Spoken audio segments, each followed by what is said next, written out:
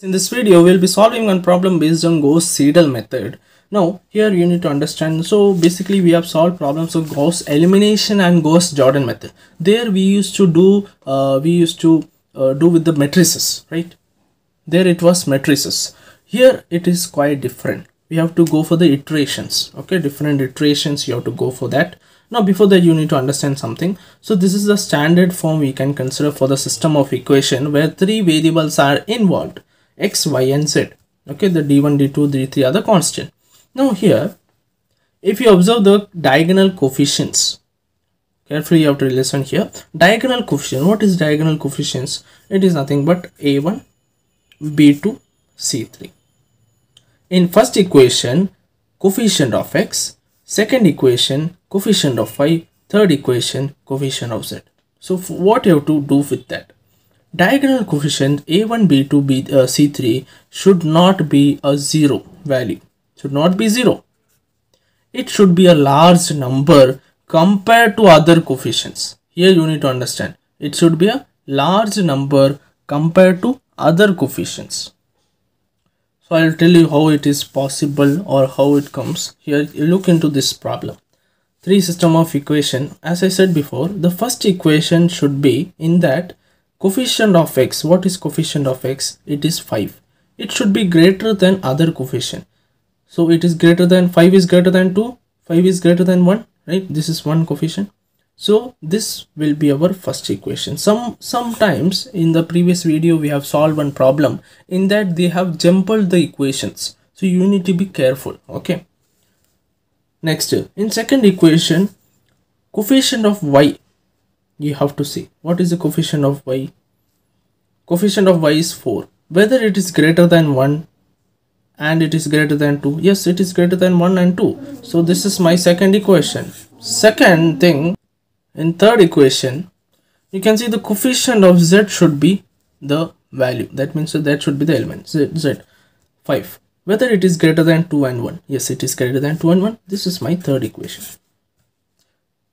why am i telling this? Because sometimes they will jumble and give the equations. Okay sometimes this will be here this will be here. So the, you you need to be careful. That's it. Okay. Now here. Next thing. So diagonally this is nothing but a diagonally dominant system. Why am i telling this? So if you're if i want to write the matrix of this okay matrix of this. So 5 then 2 1 here 1 4 2 here 1 2 5 here you can observe the diagonal elements. That's what i said. This is x so this is y and this is z. So diagonal elements you can see observe here that is nothing but the dominant value or we can say that is the largest value among if you compare with the other coefficients it is a large value. Okay? So that's why this system is said to be diagonally dominant system. So value diagonal elements are dominating here. Okay? Next now the thing is that we will go for next step what you have to write. Next step is that you have to in first equation you have to keep x one side and take other elements to the other side. Okay? So x is equal to here 12 is there 12 minus 2y minus z and here 5 is there. So i will take 1 by 5 here. Simple. Next second equation i have to take y keep y one side that means LHS rest all on the RHS side. So 15 is there already. 15 minus you can bring 2z or x so you can bring so x minus 2z anything. Then uh, 4 is there so 1 by 4 okay? Next z. Z is equal to 1 by uh, z 5 right? 1 by 5 20 minus 2y minus x or x minus x anything it's fine okay? So here we got the three equations. Now we have to focus on to this three okay? One more thing in this question i want to tell you that i want to specify that. In this question they have mentioned that you have to take the approximation value initial approximation value as x of 0 as 1 y of 0 as 2 and z of 0 as 3 this thing they have given okay this thing i want to just specify. And one more thing they have said that you have to do four iterations. Four iterations. So you have to complete the four iterations and this is the initial approximation value. We'll get to know how to use this. Okay so we'll go for the first iteration. Okay so here i have written again the same equations three equations here now we will go for the first iteration. So before that i need to tell that the initial approximation value is given over here. That means in the question itself it was given x of 0 is 1 y of 0 is 0 and z of 0 is 3 okay? And they have said to do four iterations. So we have to complete four iterations. So what is the meaning of first iteration? So first iteration basically denotes you have to find out x of 1 y of 1 and z of 1 okay? So what is x of 1 the same equation you have to see okay the whatever the equation is given over here that is 1 by 5 then 12 minus 2y now the thing is that you have to consider the values of y z or x the latest value or the previously calculated value or previously given value we can say. That means what is the value given? X y of 0 is given correct? So i'll put here y of 0 minus z of z of 0 value is given. Yes it is given. If it is not given in the question you have to consider any value you can consider. So uh, basically i consider 0 0 0 okay? X of 0 is 0 y of 0 is 0 and z of 0 is 0 if it is not given otherwise you have to consider whatever it is given. Okay? So it is equal to 1 by 5 then 12 is there minus 2 into y of 0 what is y of 0 it is 0 minus z of 0 is what? 3 correct? So i have already calculated these values. So i will directly write it is equal to 1.8 okay? Just uh, subtract this one and divide it by 5 that's it. Now we'll go for y of 2 oh sorry y of 1 y of 1 equation uh, same equation. 1 by 4 15 is there. Minus x. Here observe carefully. X of what i should consider? The latest value. Y of 0 i should consider or y of 1 i should take y of uh, sorry not y of it's x of 0 x of 0 or x of 1 i should consider x of 1 because this is the latest value. Remember this. Latest value or the previously calculated value you have to see. X of 1 then minus 2 into z of. Z of 1 is given.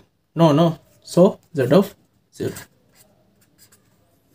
so 1 by 4 15 minus x of 1 it is given 1.8 minus 2 into z of 0 is 3 so I have calculated this value also. It is equal to uh, how much it is? 1.8 again now the z value z of 1 z of 1 equal to 1 by 5 20 minus x of. X of latest value is what? X of 1 itself right? X of 1 minus 2 into y of 0 I should consider y of 1 y of 1 it is the latest value. Always remember the latest value you have to see. So it is equal to 1 by 5 okay 1 by 5 uh, 20 minus x of 1 value say 1.8 minus 2 into y of 1 value is 1.8 so this also I have calculated it is equal to 2.92 2.92 let us go for second iteration. Okay? Second iteration you have to find out the values of x of 2 y of 2 and z of 2 so x of 2 is equal to same equation 1 by 5 I have written the values of previously calculated values okay? First iteration values. 12 minus 2 into y of so y of what I should consider the previous or the latest value? Latest value of y is 1 minus z of latest value is 1 okay? So it is equal to 1 by 5 12 minus 2 y of 1 y of 1 is 1.8 minus z of 1 is 2.92 so when I calculate this one I will get the value as 1.096 so this is value I am getting. Next y of 2 it is equal to again the same thing 1 by 4 15 minus x of. Previously or the latest value is x of 2 x of 2 minus 2 into z of. Z of what should I consider? Z of 2 is there? No. Z of 1 is there? Yes.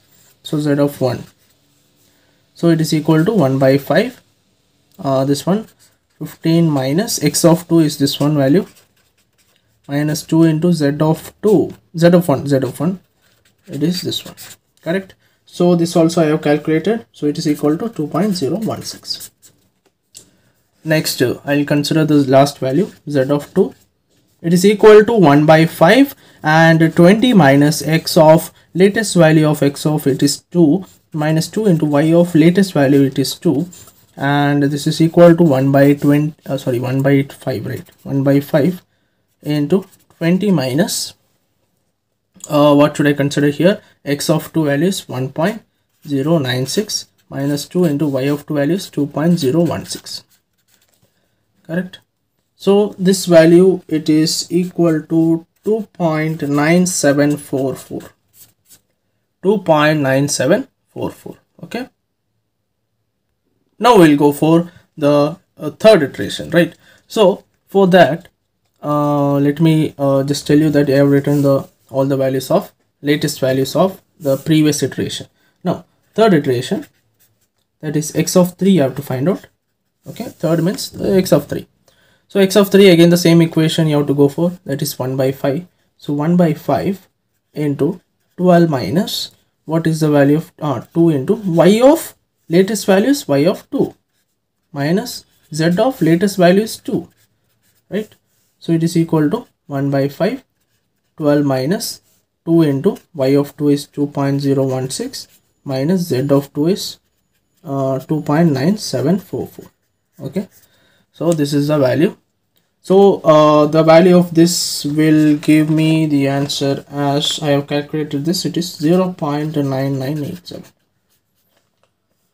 next y of 3 y of 3 is equal to same equation 1 by 4 okay 1 by 4 15 minus x of now the new value is 3 x of 3 minus 2 into z of 2 correct? The latest value of z of 2 only i have.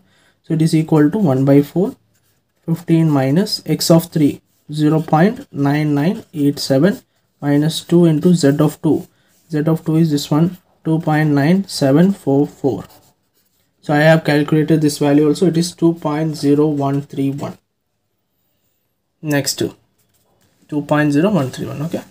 Now the z z value so z of 3 it is equal to this equation 1 by 5 20 minus x of latest value is 3 minus 2 y of latest value of y is 3 not 2 so it is equal to so i'll just solve this one.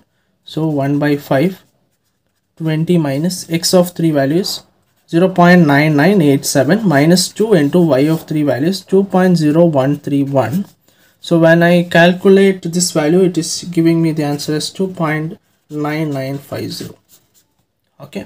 So i've got the third iteration also. Let us go for the last iteration fourth one. So x of 4 i have to find out which is equal to now same equation 1 by 5 12 minus 2y of latest value I have written third iteration values I have written okay? So y of 3 minus z of latest is 3 so it is equal to 1 by 5 uh, 12 minus 2 into y of 3 is 2.0131 minus z of 3 is 2.9950 okay? So this also value it is equal to 0.9958 next the uh, y of y of 4 okay not x of 4 it is y of 4 equal to 1 by 4 this equation 15 minus x of 3 i have to take sorry not 3 4 okay.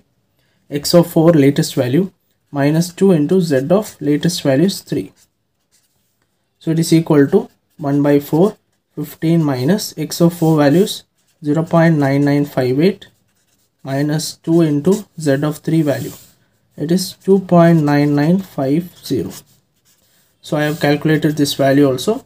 So it is coming as 2.0036 next we'll go for the last value which is z of 4 so z of 4 is equal to 1 by 5 this equation.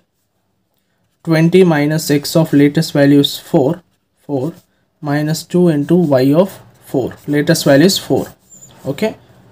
So here so this becomes 1 by 5 20 minus x of 4 it is 0 0.9958 minus 2 into y of 4 it is 2.0036 so the value it is equal to 2.9956 so i got till four iterations this value i'm getting as 2.9994 okay?